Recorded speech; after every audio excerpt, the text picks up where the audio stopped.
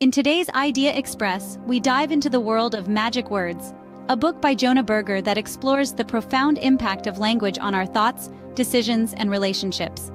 This thought-provoking exploration reveals how the slightest changes in our words can have a ripple effect, influencing our personal and professional lives in ways we might not even be aware of. Magic Words offers practical insights on how to wield the power of language for our benefit. It's about understanding that the words we choose are not just a medium of communication, but a catalyst for change, a way to negotiate better, motivate effectively, and build stronger relationships. The magic lies in the subtleties of language, in the nuanced changes that can trigger profound shifts in perception. Ready to discover the magic of words? Let's unravel three key concepts from this book and how you can apply them in your daily life. In the first concept, behavioral influence, we find the language we use can steer our actions, shaping our personal and professional success. When negotiating in a professional setting, instead of asking to lower the price, invite a discussion about the factors behind the pricing. This approach encourages a conversation rather than a simple no. When motivating team members, motivate them to identify with the success of the team. Instead of saying, let's work on this project, say, let's be a team that excels in project completion. This subtle shift in language instills a sense of agency and ownership. When it comes to personal goals like eating healthier, reinforce your sense of self-discipline. Rather than saying, I can't eat junk food, say, I don't eat junk food. This affirmation strengthens your personal identity and makes it easier to resist unhealthy temptations. Remember, the power of your words can influence behavior. Use them wisely to achieve your goals. Moving on to the second concept, linguistic psychology. The connection between language and our thoughts, emotions, and identity is stronger than you think. Let's consider how we can put this into practice.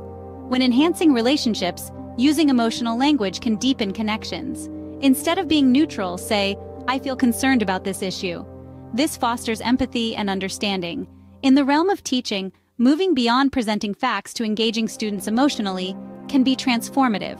Try saying, let's embark on a fascinating journey of discovery to inspire a love for learning. And in conflict resolution, avoid accusations. Foster self-reflection by asking, can you help me understand your perspective? This encourages open communication and empathetic resolution. So next time you engage in a conversation, remember, your words carry emotional weight and can make a significant difference.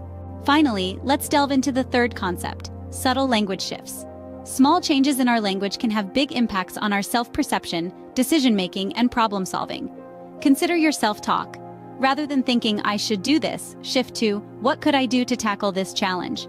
This encourages a solution-oriented mindset, transforming a challenge into an opportunity. In the realm of team building, replace, we should be more efficient with, let's aim to become a team known for efficiency. This subtle shift fosters a sense of identity and purpose, motivating every team member towards a common goal. For personal growth, instead of saying, I need to improve my skills, try, I could enhance my skills through consistent effort. This moves you from a state of obligation to one of potential, sparking the drive for continuous learning and improvement. As Jonah Berger beautifully illustrates in Magic Words, the language we use can shape our reality. So, Choose your words carefully, for they possess the magic to transform your life. Before we wrap up, let's quickly recap the magic we've discovered today.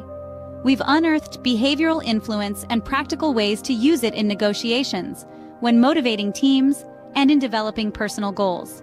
We discussed linguistic psychology and its use in enhancing relationships, improving teaching, and conflict resolution. Finally, we covered subtle language shifts, illustrating how minor word changes too can enhance self-perception, decision-making, and problem-solving in various life aspects. Until next time, remember, your words have power. Use them wisely. Ever wished the wisdom of your favorite books could seamlessly translate into your daily life? Jump on board the Idea Express.